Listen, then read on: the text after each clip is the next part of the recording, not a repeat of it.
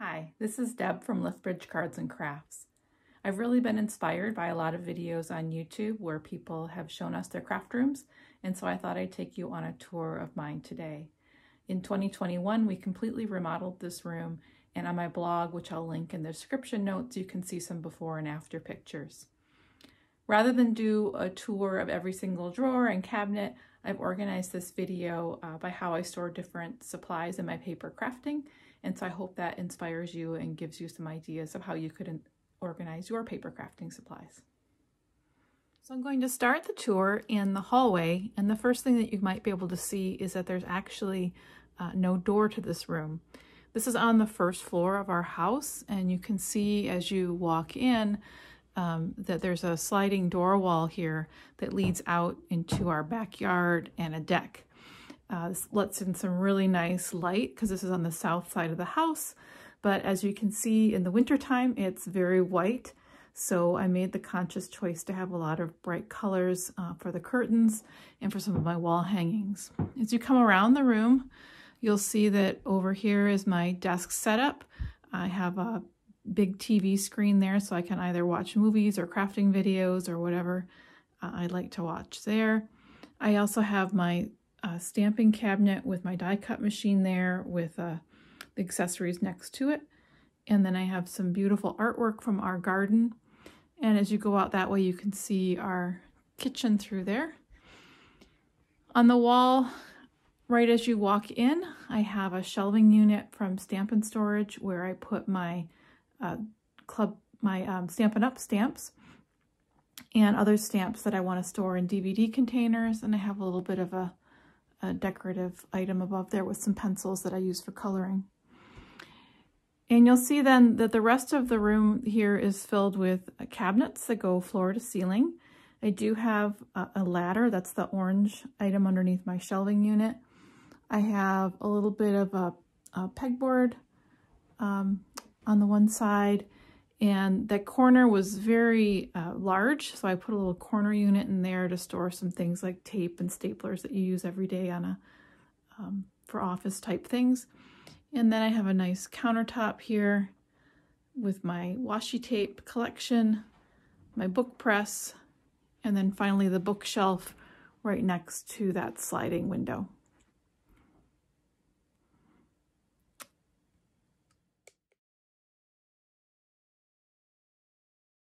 My paper storage, a lot of my paper comes from Club Scrap, and so I have a shelving unit under my desk that has some of my pizza boxes uh, labeled with the kit name, as well as a few empty boxes for uh, spray uh, mists and things like that that I want to work on, as well as some other projects in progress. Just opposite, on the other side of my desk, are the rest of my Club Scrap kits there in those boxes. Those are organized as well by year with the kit name uh, and year on them. Underneath then, these big cabinet units, these are a little less deep than the traditional kitchen cabinets um, because this room is rather small and I wanted to make sure I had some floor space and it felt a little more open.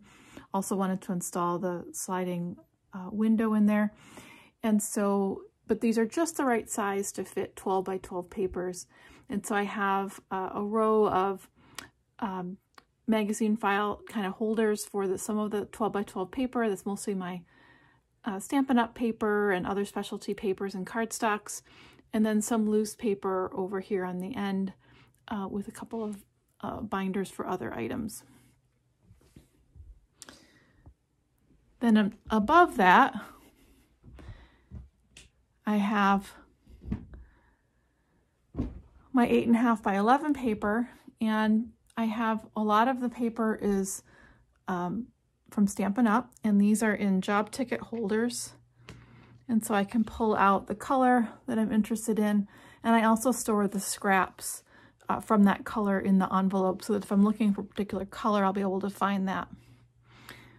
Other paper from Club Scrap is here, organized Roy G. Biv as well. And then I have some specialty cardstocks and other types of cardstocks over here. I also organized my scraps, some of my scraps here. So these are my larger scraps that don't fit in my other containers. And so if I'm looking for a red or an orange, I've got them organized by color with these tabs so I can find them uh, pretty quickly. The rest of my paper scraps I organize in these two uh, bins here. This is a semi-satchel bin from Art Bin. And I have in the front all of my paper scraps organized Roy G. Biv. And then I have 6x6 paper pads, as well as other, um, some of them are embellishments that I've already made, uh, pattern papers, and more 6x6 paper pads. The other scraps I have in here are long, generally long strips like this. So when I'm doing a lot of card making, I'll end up with these skinny strips and they're perfect for uh, sentiments or for other sorts of um, strips that I need just for random purposes. So I just kind of have them all thrown in here and I sort through this whenever I want to look for a paper scrap. The other things that needs a lot of organizing in a paper crafting room is embellishments. So behind uh, this cabinet here, I have one row of uh, these containers here from Craftmates. And we open these up and these hold lots of little individual embellishments. These are a pillbox style container and so they don't open up on their own. You have to press and open them up, but I can easily see what I have uh, and I can get those embellishments out really easily. So things like brads, uh, most of my beads, uh, and other sorts of eyelets and things are there. And then I have additional bins for different categories of things like felt item, other embellishments, uh, and then some other things up in the way top that I don't use very much, but I can read the labels and know what's in there. So I have three different ways that I store my ribbons and yarns. Um, the first way is for most of my yarns, I have them in these three ring binders organized by color.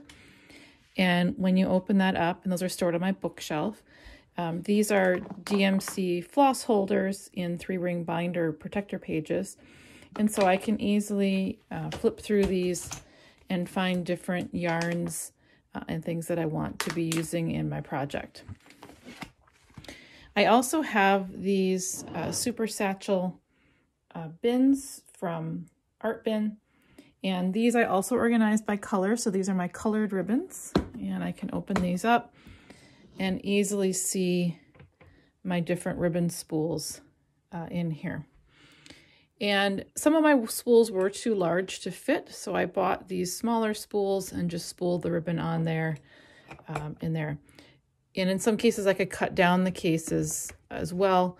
But the Stampin' Up! ribbons uh, fit really nicely in here, the new sizes that they have, uh, the more modern sizes. And so I was able to put all of those ribbons in there and could see them really easily. Finally, things that don't fit on a spool or in my binder, usually little scraps of ribbon like this, um, or some of my favorite ones that I want to use maybe for inspiration that I want to use right away. I put in this apothecary jar and that sits on my desk so that I can uh, see the ribbon, which I think is beautiful, and also use it more easily. Give you an overall view of uh, this cabinet here. Um, you can see that the Art Bin smaller satchels fit on that top row, and then I have a variety of different sized ones that fit below. So these two have my ribbons. These are my reinkers.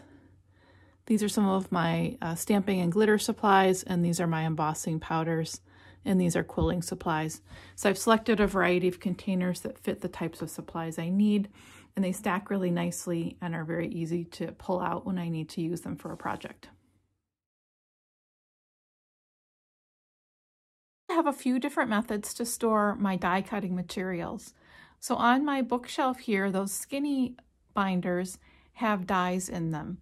And so if we take a look at one of those sitting here, this is the letters and word uh, version, but there are um, thick magnet sheets here that have a cardstock backing on them.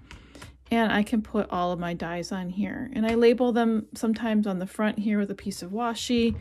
Some are labeled on the back. It just sort of depends on what I was doing at that particular uh, time.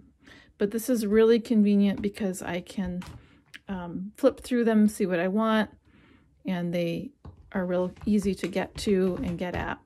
Um, this particular set's quite large, so sometimes there's a little bit of flipping off, but these are really sturdy on here. My other method that I've been really using a lot lately are magnet uh, boards. So on all of my cabinets now, on most of the doors, I have put magnet sheets uh, from Stamp and Storage, and I've organized my dies uh, generally by categories that make sense to me. So this is the rectangle door, and I know that those are rectangles. This door here are all my circle shaped dies, so I know the circle shapes are here. And so I'm able to kind of open these up and find what I need really easily. It also makes putting the dies away easy because I know, for example, there's one missing here, so I'll need to go looking for that. Um, these are really easy to get at if you don't want to use your hands to get them. I just have a little um, magnet here, a neodymium magnet, magnet, and they just snap right off. And then I can put it right back on there. I also have some thicker dies, um, and I have those in these uh, underneath the cabinets here in a semi-satchel unit from Art Bin as well. And so these are organized by different categories and I can take out the bin that I'm interested in and sort through those dies. I also have,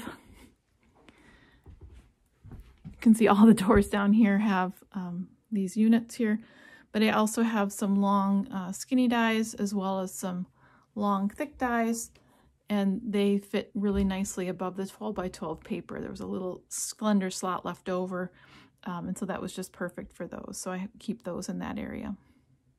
So I store my punches in these drawers. Um, this allows me to have really easy access to all of them, and I can see them all, um, but it also kind of hides them away because those are really awkward to store.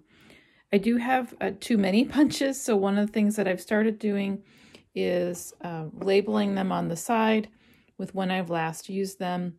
Uh, these particular ones by Stampin' Up, I've also started to put like the shape on the side so I can see what the shape is more easily. Uh, they definitely store, I can easily grab any one of them without rifling through the stack this way, uh, but the pictures of them are on the front, so that makes it, they're too high to do uh, that with the larger punches. So I have two drawers of punches. And this drawer is not completely filled, so it has a few other uh, things in it as well. For stamp storage, I utilize a couple of different methods. Um, for a lot of my stamps, what I used to do for all of them was put them into binders like this, three-ring binders with page protectors. I have the index sheet on the front and as I flip it over, there's a piece of laminated cardstock that has my stamps on the back. And I can just peel those off and stick them right to my uh, mounting blocks. I also have my newer stamp storage system is to have bins that have these um, sleeves and cardstock, and I put the stamps in there. And I really like methods where I can kind of flip through and see things, and I can do that pretty easily there. The other storage system I have is the shelving unit. So this is where I have uh, mostly my Stampin' Up! stamps, but I like how I can see the different uh, stamps on the index there. And the green marker on these indicates that there is a die that coordinates with that that's inside that uh, containing box. I do have some empty ones here because I'm actually looking at putting some of my other stamps that I use most frequently here because I do find myself really going to this shelving unit quite often uh, to look for stamps. And then finally, I still have a lot of wood-mounted stamps.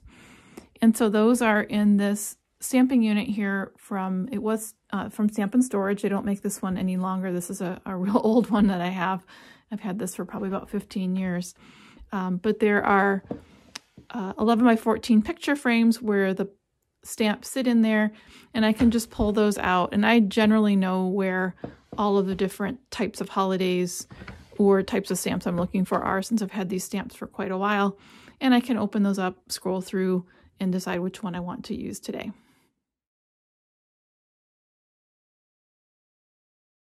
So finally, I wanted to give you a tour kind of of the area where I do the most of my daily work here. Uh, my die cutting machine is right next to my desk. I use it uh, nearly every project I make. And the doors here are also covered in magnets. And what I've used these for mainly are pieces that I'm storing uh, while I'm working on a project or to make sure I can put things away if I'm in the middle of something. I also have all of the different plates that go along with the die cutting machine here, the extra embossing plates and the embossing mats, as well as my stamp positioner, which I use that quite frequently as well. In this box, I keep different projects in as I'm working on them. As we go up to the desk surface, I have my most commonly used tools here. So I have my uh, paper piercer, cutting knives, scissors, bone folders, all those sorts of things as well as washi tape that I use for attaching die cuts to um, my paper when I'm running it through the die cutting machine. I also like to have a loose ribbon here, so my ribbon scraps go into that apothecary uh, container, and that way I can um, have little scraps of ribbon that if I'm looking for just a tiny piece, I can use that from there. I really like pens and markers, so those are right in the center there, and they're categorized by the different types that I have, so I can easily get to them uh, and find all my markers. I have some of my uh, journals and other types of paper here, um, so that I can do some different projects. And then I have right over here, I have my uh, die, my stamp inks. So these are the ones that I use most frequently. Uh, and that's a container from Stampin' Storage that fits just perfectly there. I also have my ATG tape guns, and I like to use the quarter inch and the half inch size. So I have one of each there. So depending on the type of project, I can select the tape gun that I want.